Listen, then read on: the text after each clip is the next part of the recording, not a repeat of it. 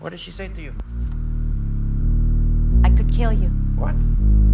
I could kill you right now. In front of everyone? Mm. All the students? Mm. What did they do? Nothing. And then what did she do? She looked at me and she had tears in her eyes. She was upset. No, she was raging.